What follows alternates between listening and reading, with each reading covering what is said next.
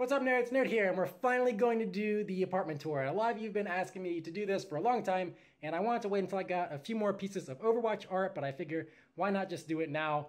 Um, I still have a lot of art to show you and many other nerdy things, so hopefully you enjoy that. You can already see uh, right behind me, I got like Shinobu up on top of my refrigerator, so it gets pretty deep pretty quick. Um, do be delicate with your comments about the house. I keep it really clean, but it's in the same state it was when I woke up this morning, so nothing like overly cleanly. Let's just say it, say that. Um, behind me is my door, and we're already in my apartment, of course. So we're gonna start the tour now. Keep in mind that I'm about to re-record this, so my face is gonna get smaller, and then as we walk, I'll actually be talking over the stuff that I show you um, from recording it a second time.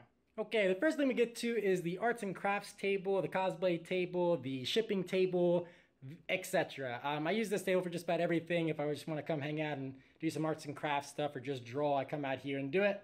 Uh, so you can see arts and, arts and crafts supplies as well as some random Overwatch stuff laying on the table. Probably the most notable thing above this table though is my Yu-Gi-Oh! Pokemon card display case. In that case I have like PSA 10 first edition, really old Pokemon and Yu-Gi-Oh! cards. Um, it's a pretty serious hobby of mine. I buy and trade them and sell them and um, try to collect the cards that I want while still making money, sort of thing. So it's a good hobby to get into if you if you like that kind of stuff.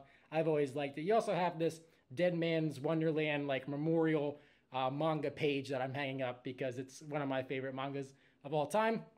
Moving on to right beside the arts and crafts table, you have all these Overwatch boxes I have stacked up. I don't really know what I want to do with these yet. These are the boxes that the figures came in that I have. Um, but I want to do something because the boxes are pretty cool. They're really colorful and they have the Overwatch logo on them. But even cooler is right above these boxes is the uh, original Overwatch events artwork um, edition 9 out of 100.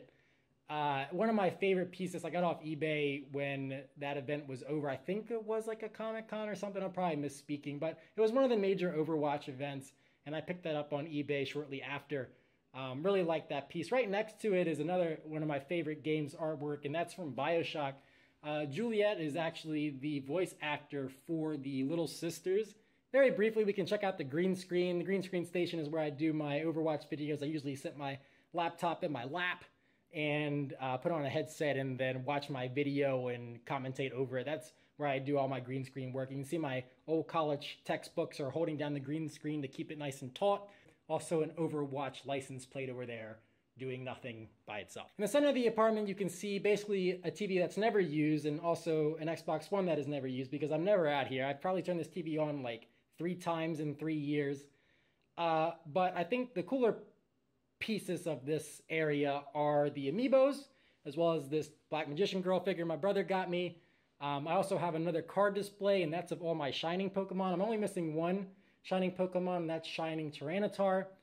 And then more notably to you probably would be the Overwatch art that um, my good friend on DeviantArt, Telemaniakk, made for me uh, about a year ago now at this point super, super fine detail. I love her artwork, and I always try to get her to draw me stuff whenever I have uh, the funds to do so. I also have some anime art drawn from her as well. I'll link her stuff down in the description below if you want to go give her a shout out from the Nerds channel. Moving on into the bedroom area as well as like the bathroom kind of caddy corner type thing. You can see I have some um, artwork or printed artwork that I printed out and made little collages up. I have a YouTube, old YouTube video of how to make those collages. Also, you know, quick glance at the bathroom, work zone sign, and now we're moving into my bedroom. So in my bedroom, things get a little serious. Uh, I don't even know best place to start. I guess we'll just start over here by my bed itself. You can see I got my laptop, which is where I watch my anime when I'm laying in bed, um, as well as a bunch of manga that I'm reading and books that I'm reading all on my little night shelf. I also have some random artwork above my bed as well as collages. Uh, moving towards the figures now, I guess. So figures are on the dresser as well as much artwork above my dresser. You can see I have the four Overwatch figures that I like. I also saw the Genji one was out. I just haven't bought that yet. Newer little setup here is the PS4 setup, which I sometimes switch between when I just want to take a break from Overwatch and play that. You can also see this really old Bioshock artwork. Um, actually, this whole wall here by the gaming setup, I guess we'll just kind of pan back and you can see um, all the different pieces of art I have here as well as the gaming setup itself um, some Overwatch art, some crossover art between Pharah and Samus, as well as um, some anime stuff, Bioshock stuff, um, the channel mascot, uh, just all sorts of stuff in here.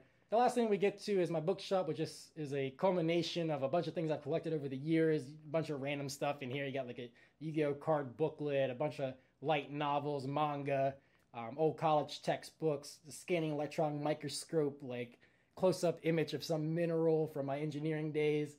Um, just all sorts of different things, passports for when we, my brother and I travel uh, around the world, all that sorts of stuff. And really, um, that is about it. it. My apartment's pretty small. Of course, I live by myself, and um, you know, this is this is enough for me. I like it a lot. I still try to collect more art from all the different um, deviants around the globe, and also anybody who reaches out to me and says they, you know, they would love to draw something for my channel. I usually work with those folks and try to support them as much as possible, but because I love their work. And that's it. If you have any questions, feel free to ask them below. I'll try to get back to you about any questions you might have. Um, thanks for watching. See ya.